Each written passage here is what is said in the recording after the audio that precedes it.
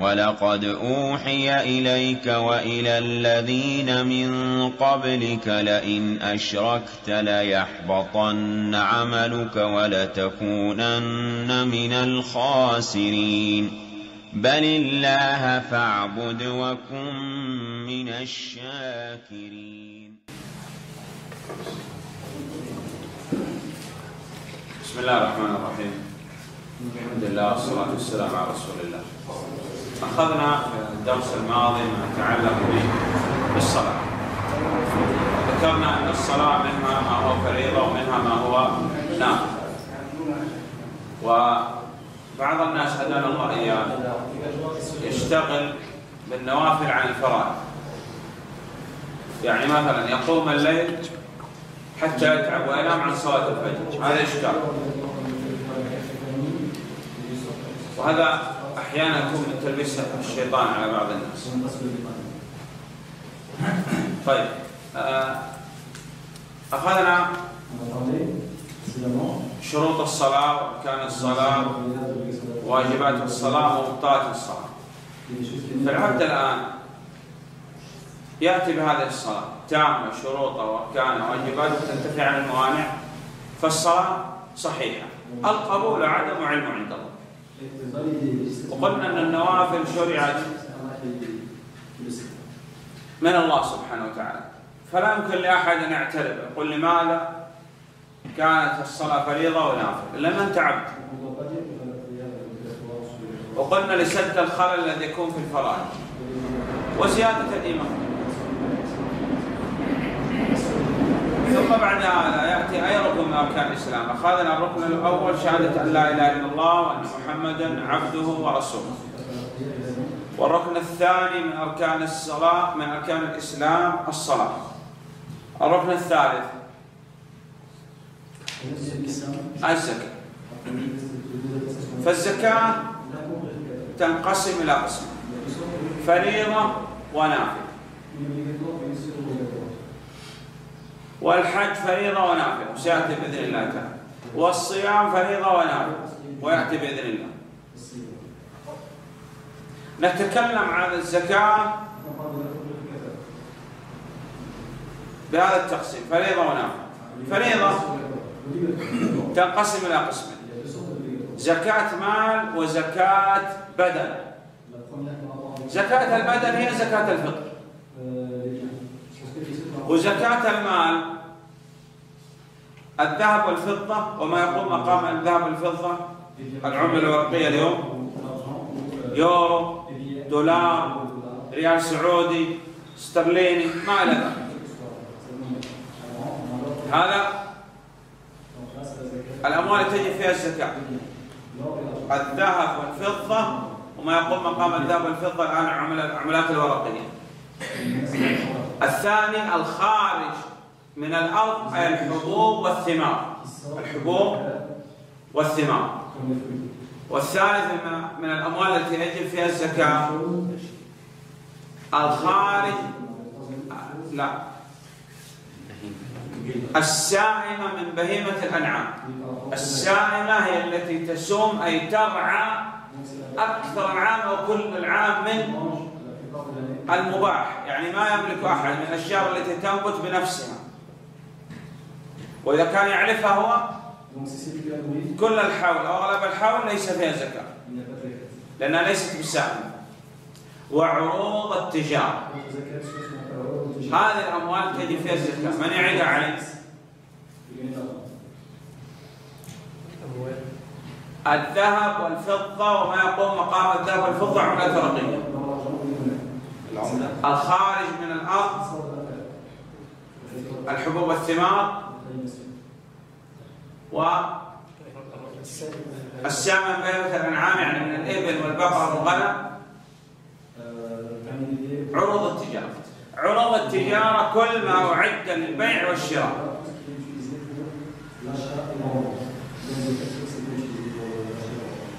طيب. مقدار نصاب الذهب. 85 جرام. فإذا كان لديك أو لدى المرأة من الذهب ما يساوي 85 جراما ففيها الزكاة. 80 ليس فيها الزكاة. ومن الفضة ما يساوي كم؟ 595 جرام طيب؟ نعم. زكاة الفطر. هذا اللي يهمنا الآن لأن الآن أسأل الله سبحانه وتعالى أن يبلغنا وإياكم رمضان. فعندنا زكاة فطر. زكاة الفطر سميت بهذا الاسم. لماذا؟ لأنها تكون في يوم العيد وهذا يوم العيد لابد من الإفطار فيه. وشرعها الله سبحانه وتعالى طهرا للصائم من اللغو والرفث. لا بد أن يكون في صيام العبد شيء من النقص أو يغتاب أو يصنع شيء من هذا فهذه زكاة الفطر تطهر هذا النقص بإذن الله. مفهوم؟ طيب. وهي زكاة قلنا للبدن. كم مقدار زكاة الفطر؟ صاع من طعام. وهو ما يساوي تقريبا الآن بالكيلوات ثلاثة كيلو جرام هذا أحوط وأحسن. تخرج من الرز من القمح من الشعير من التمر من قوت البلد. هذا الطعام عندكم مثلا. تخرج مقدار ثلاثة كيلو. وتنوي بالزيادة أنها صدقة لوجهه وهذا يعني أحسن. كثير من الناس لا يعرف مقدار الصاع مفهوم؟ ويصح أن تخرج من المكرونة كذلك. هل يصح أن تخرج مال؟ المسألة هذه اختلف فيها بعض العلماء. وأنت أحسن لك وأحوط أن تخرجها كما أخرجها النبي صلى الله عليه وسلم. طعام بل نص على هذا. قال طعمة للمساكين. وإن أخذت بقول إمام عالم تثق بدين وعلم وقال تخرجها مال وأخرجتها على ثقتك بهذا العالم فهذه صحيحة بإذن الله ولا إشكال طيب. طيب. متى تخرج؟ تخرج لها أي لزكاة الفطر أوقات ثلاثة. وقت جواز ووقت تحريم ووقت استحباب. لزكاة الفطر أوقات كم؟ ثلاثة. وقت جواز. ووقت استحباب ووقت محرم. وقت الجواز يصح له ويجوز له أن يخرج زكاة الفطر قبل يوم العيد بيوم أو يومين. يعني يصح أن يؤدي زكاة الفطر في اليوم التاسع والعشرين واليوم الثلاثين من شهر رمضان. هذا وقت. جواز يجوز لا شيء وقت استحباب أفضل وقت لإخراج زكاة الفطر من بعد صلاة فجر يوم العيد إلى صلاة العيد. مفهوم؟ هذا وقت استحباب. وقت تحريم بعد صلاة يوم العيد. مفهوم؟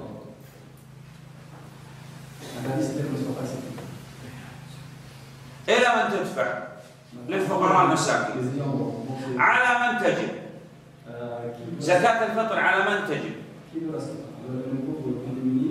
تجب على كل من غربت عليه شمس آخر يوم من رمضان وهو مسلم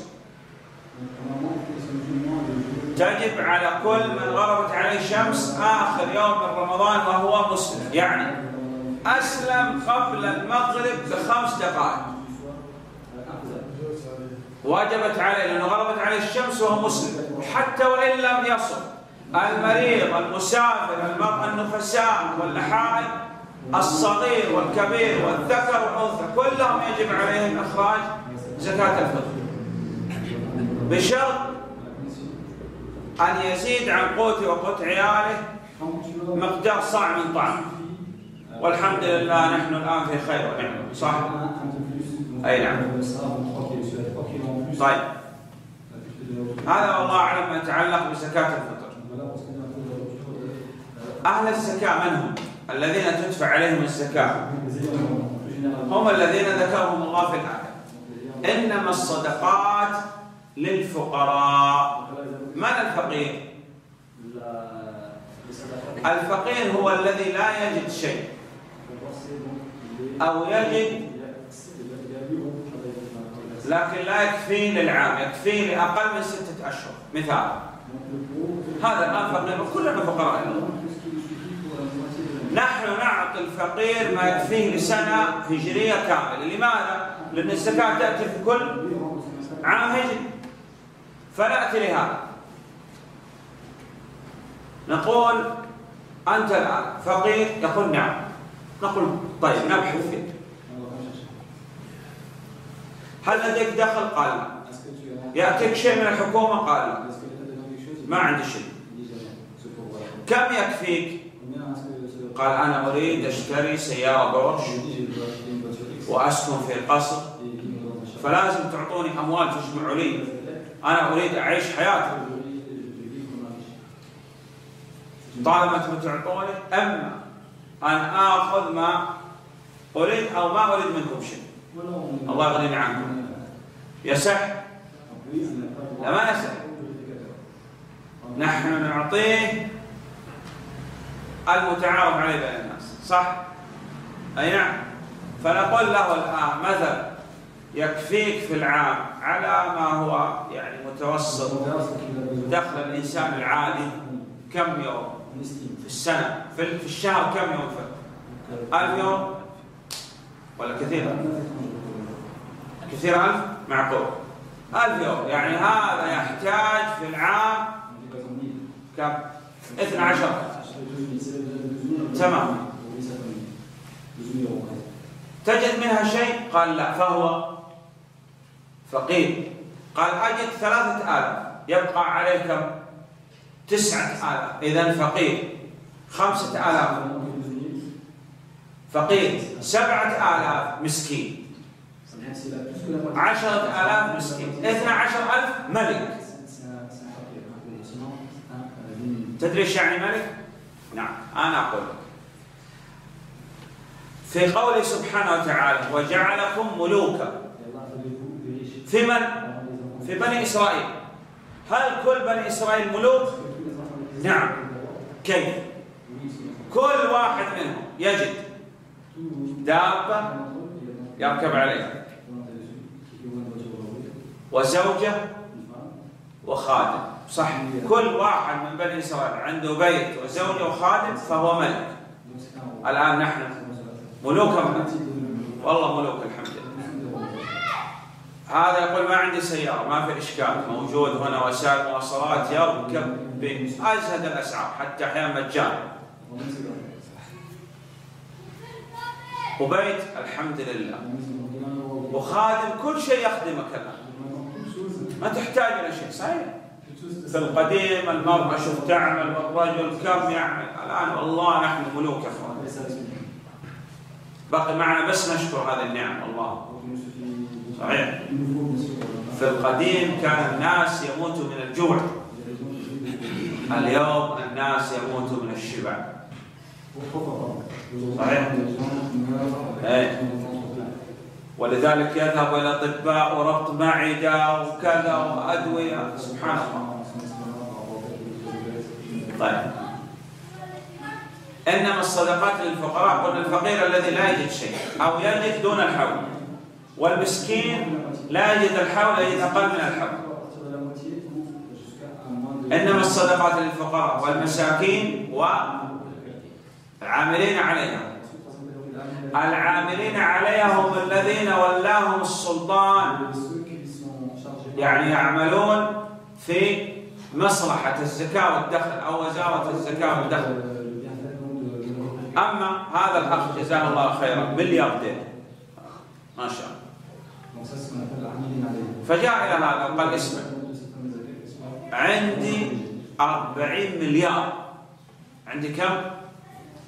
أربعين مليار يورو. زكاتها كم؟ أربعين مليار. مليار. تقسم على أربعين. أي مبلغ تريد أن تعرف مقدار الزكاة فيه تقسم على كم؟ 40 40 مليار. على 40 مليار. إذا زكاة هذا الأخ كم مليار؟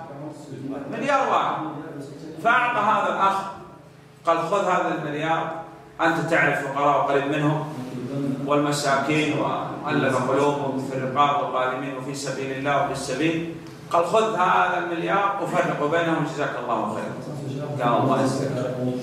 وضع في جيبه نصف مليار وأخرج النصف الثاني لماذا؟ قال العاملين عليه. نقول لا العاملين عليها هم الذين ولاهم السلطان. أنت هنا وكيل. وليس لك أن تأخذ يورو واحد. لا. سانتم سانتم سانتم آسف. اخطات في هذا سانتيم واحد. ليس له يأخذ سانتيم واحد. مفهوم؟ لماذا؟ لأنه وكيل. مفهوم؟ نعم. طيب. إذا العاملين عليهم الذين ولاهم السلطان يأخذون من السلطان ما يأخذون من الناس؟ عاملين عليها.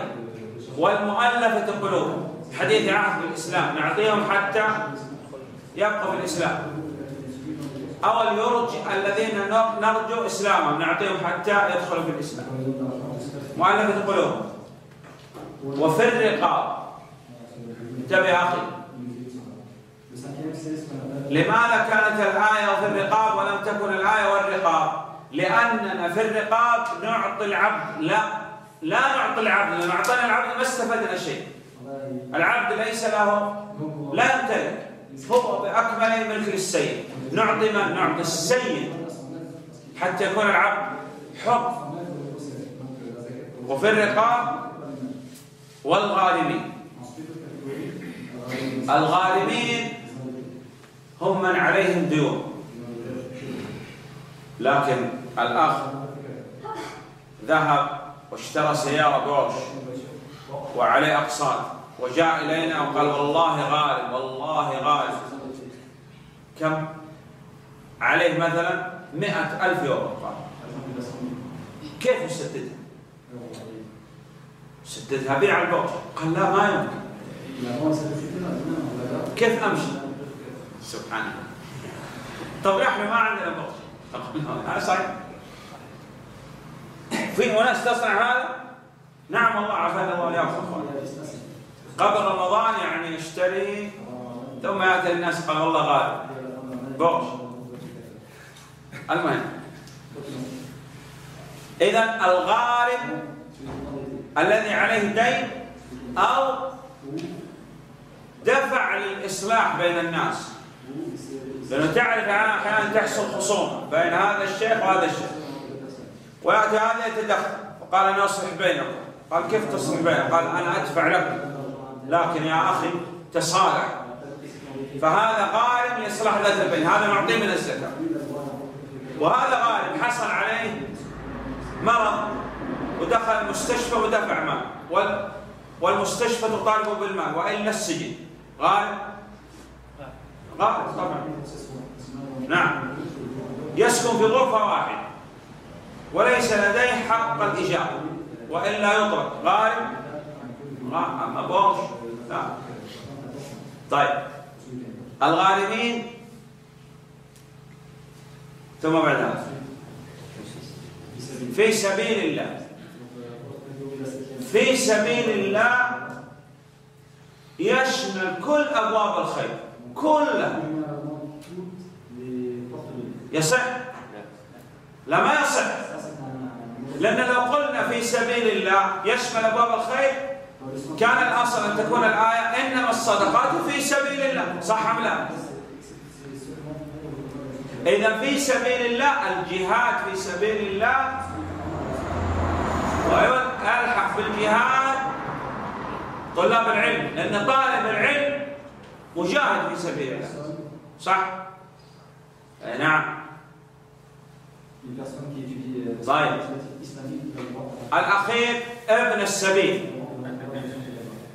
نسب إلى الطريق. لم ينسب إلى أبيه. ولا في الأصل الواحد ينسب إلى أبيه. لكن هذا خرج عن بلده. يعني هذا الأخ من المغرب. وجاء إلى هذه البلاد. وفقد كل ما لديه. في المغرب غني هو عنده مال لكن هنا ما عنده مال ولا يوجد أحد يرسل له هذا فقال أعطوني من الزكاة فقط مقدار التذكرة 150 يورو فقط. ولا ما أريد مال اشتروا لي تذكرة حتى أرجع لأهلي وأولادي. نعطيه؟ نعم؟ نعم. هذا ابن السبيل.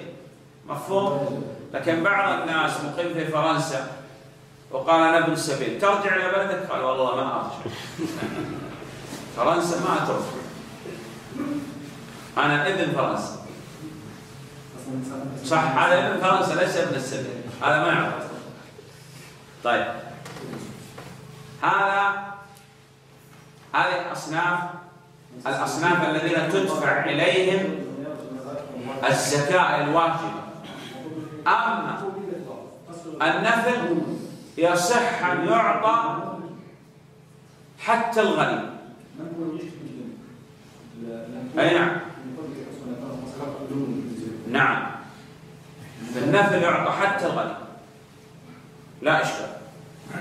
صحيح. طيب. هذا ما يتعلق بالزكاة. والآن أغلب الأسئلة تكون عندنا في ماذا؟ في الأموال. صح؟ قلنا سهل جدا. هذا الأخ لديه مال هل بلغ النصاب أو لم يبلغ النصاب؟ نقول تعال. تذهب إلى الذين يبيعون الذهب والفضة. تقول كم يساوي 85 جرام باليورو؟ يقول 85 جرام باليورو تساوي أنا لا أعرف. الآن أنا أقول مبلغ تقريبا تقريبا. تساوي مثلا 100 يورو. طيب هذا كم؟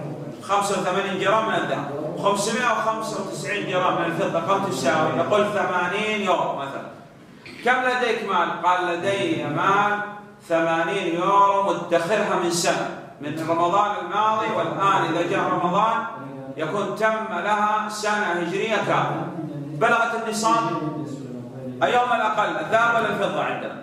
فضة كم تساوي؟ 80 ومع 80 يجب فيها الزكاة كم يورو في الثمانين؟ يورو كم تجب الزكاة فيها؟ من الذي يعرف الحساب؟ اثنين. اثنين يورو صح؟ نعم. والحمد لله. خارج اثنين يورو وفي الأربعين مليار؟ مليار. وعلى. نعم. طيب.